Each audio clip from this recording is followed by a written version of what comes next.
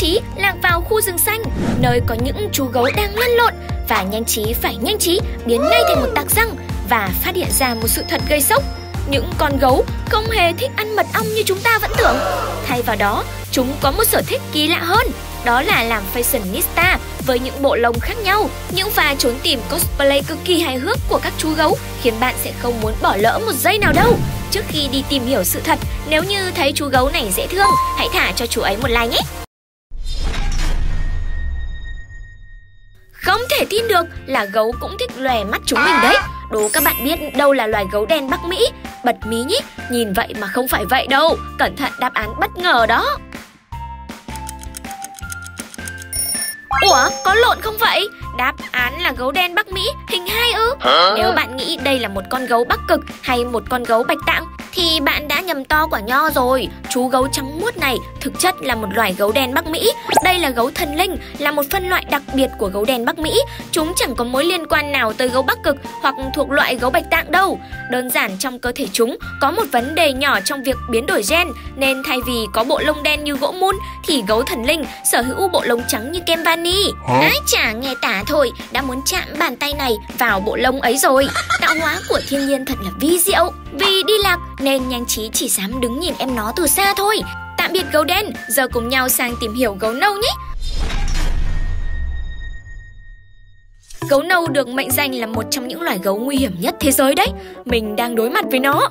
Nhưng mà có một đất nước chỉ cần gấu nâu bước chân tới đó là tự dưng nó ngố tàu liền. Không biết đất nước nào mà lại có thể thuần hóa gấu nâu đỉnh như vậy? Nga, Trung Quốc hay là Đức?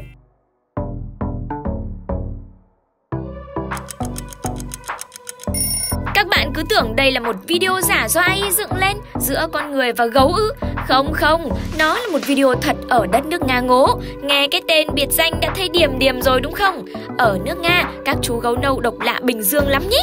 Thay vì đi săn mồi, mỗi lần hết thức ăn trong rừng, chúng vô tư vào nhà người dân xin ăn ké như thế này này. Trông trắng khác gì một chú chó nâu to xác đang được chủ cho ăn ngoan cả. Thì thoảng người dân thấy đáng yêu quá, lại lôi vào chậu tắm cho như em bé cô. Nhìn thế này, có ai nghĩ đây là loài động vật săn mồi nguy hiểm nhất thế giới không? Ôi trời, nếu như bạn là một người dân của nước Nga thì bạn có dám đối mặt với một con gấu to bự như thế này ngay trước mắt mình không nhỉ? Cũng vì gấu nâu quá đáng sợ nên chú gấu này đã phải ở trong rừng cô đơn mà không ai dám tới gần. Cách duy nhất để kết nối gián tiếp với các loài động vật khác đó là chú gấu nâu sẽ để đồ ăn ở ngoài cửa rồi đi vào nhà để các động vật nhỏ con khác như capybara tới ăn. Vào một đêm đông nọ, chú gấu nâu đi vào rừng kiếm mật ong. Do tuyết quá trơn nên chú đã bị trượt chân và ngã xuống vách núi.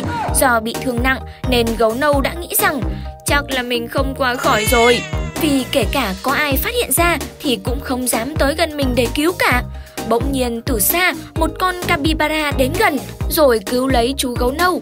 Vậy tại sao capybara lại không sợ mà sẵn sàng cứu gấu nâu như vậy nhỉ? Có phải vì gấu nâu cho capybara ăn mỗi ngày không? Hay vì capybara là bộ trưởng bộ ngoại giao nên thân thiện vậy thôi?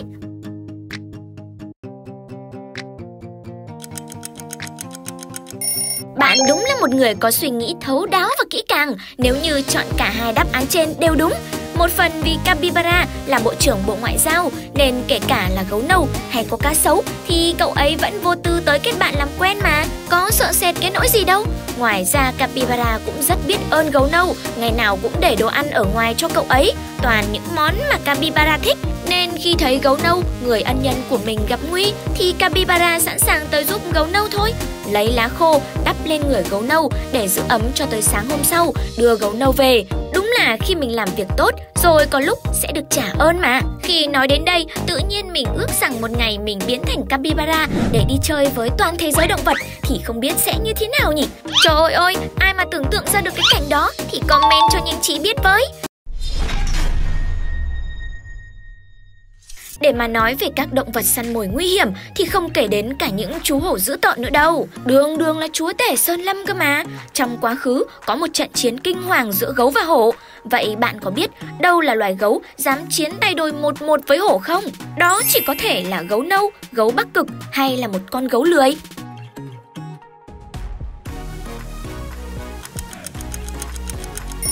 Đứng ngay trước mắt bạn đang là một cuộc đối đầu vô cùng hiếm gặp giữa gấu lười và hổ đấy. Mày làm sao mày ăn đi? Mày thích gì? Mày thích gì?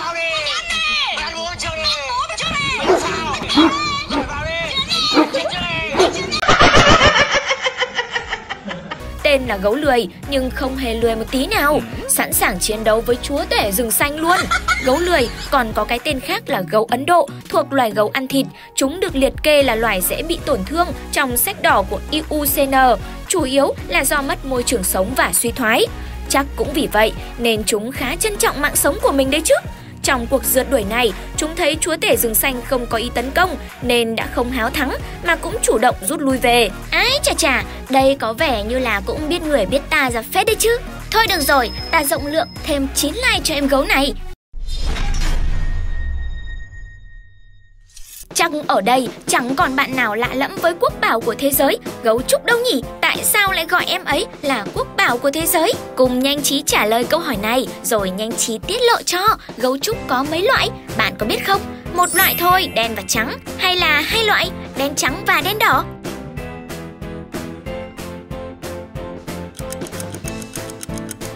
Đây chính là đáp án vô cùng chính xác. Các bạn khác không nghe nhầm đâu. Gấu trúc thực ra có hai loại, một là màu đen trắng mà chúng mình thường thấy như bạn phu bao siêu nổi tiếng này và loại thứ hai là gấu trúc đỏ. Các bạn biết em ấy được gọi là gì không?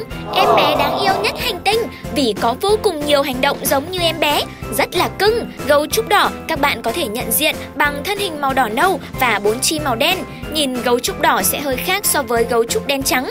Nhìn chúng sẽ giống một con cáo béo hơn đúng không các bạn? Đúng đúng. Chắc là do hai cái tai của chúng nhọn hơn so với gấu trúc bình thường ý mà.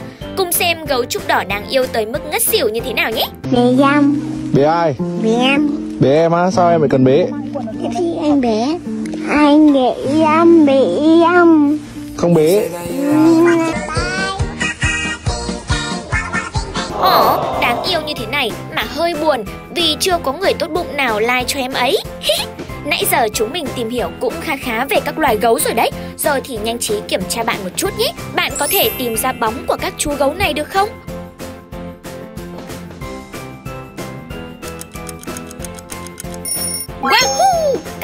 Bén hơn nhanh trí tưởng rất nhiều. Vậy đó có phải là tín hiệu để bạn đi tiếp phần 2 không nhỉ?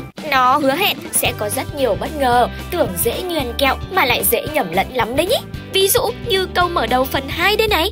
Bạn có biết gấu Bắc Cực có lông màu gì không? Rõ ràng là màu trắng rồi, màu xám hay màu trong suốt?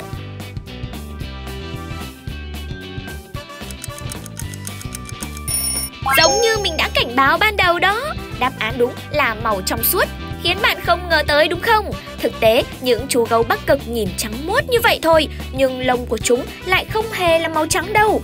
Bên trong da của gấu Bắc Cực có màu đen, các sợi lông trong suốt nhưng nhờ vào phản xạ kỳ diệu của ánh sáng mặt trời khiến những bộ lông này nhìn như màu trắng vậy. Wow, hóa giả thế. Nếu như con gấu Bắc Cực mà được nhìn trong bóng tối thì không biết nó sẽ ra cái màu gì nhỉ? Tò mò quá, mà điều này nhanh trí chưa biết. Bạn nào có tưởng tượng ra được rồi hay có đáp án thì nhớ comment xuống bên dưới nhé. Chà chà, bây giờ chúng ta sẽ cùng gặp mặt lại bạn gấu trúc Phu Bao, vô cùng nổi tiếng ở Trung Quốc nhé. Ai mà không biết đến em gấu trúc dễ thương này thì thực sự là hơi tối cổ đấy, cập nhật ngay ngay đi. Bên cạnh em nó là gấu trúc hào hoa này, cũng phu Panda và Kiki Panda. Bạn có biết đâu là gấu trúc đắt đỏ nhất không?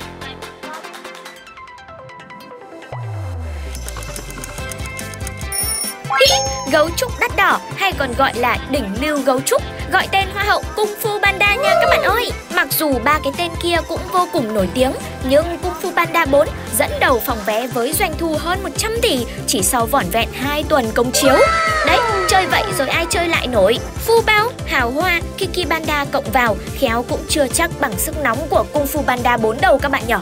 Tuy nóng là thế thôi, nhưng có phải cứ nóng là mọi người yêu thích đâu? Biết đâu trong bốn nhân vật này, các bạn yêu thích nhân vật khác thì sao? Comment tên của nhân vật đó xuống bên dưới nhé. Nếu như một ngày bạn đang đạp xe hóng gió trong rừng, tận hưởng mùi hương của lá cây, sự trong lành của rừng xanh, thì bỗng dưng một chú gấu xuất hiện với tư thế săn mồi. Cách duy nhất, bạn có thể lựa chọn là đạp xe thật nhanh để chạy trốn, không thì chắc chắn sẽ biến thành bữa tối của con gấu này. Vậy bạn nghĩ trong cuộc rượt đuổi ấy thì ai sẽ chiến thắng, gấu hay là con người chúng ta?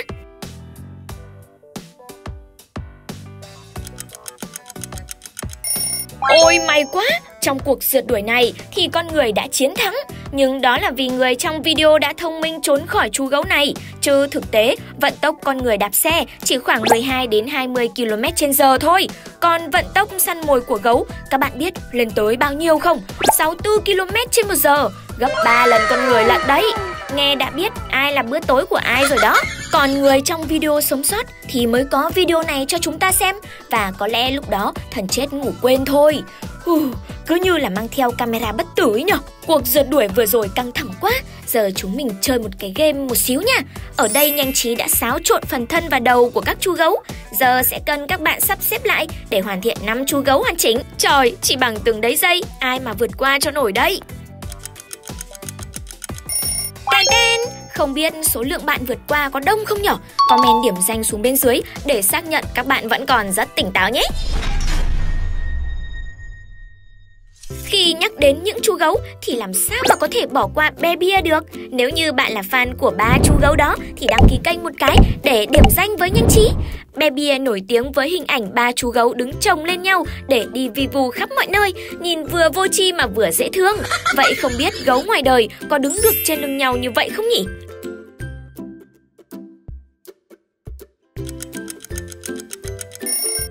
Sao mình thấy giống capybara ngoài đời thế nhỉ?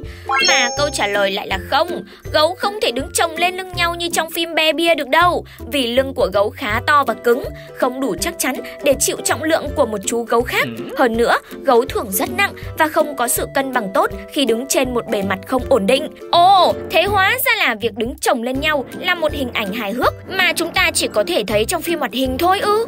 Ồ, không giống capybara rồi. Và đây, đừng rời đi Vì có lẽ là một bí mật chấn động sẽ được tiết lộ ngay bây giờ. Không biết đó là tin buồn hay tin vui, nhưng có những loài động vật ăn thịt sẵn sàng ăn cả con của mình. Bạn có biết điều này không? Trong khi đó, nhanh trí lại đang có một chiếc video gấu mẹ tấn công gấu con của mình. Không biết gấu có phải là loài ăn thịt mà tấn công cả con của mình giống như chúng ta vẫn đang nghĩ không nhỉ?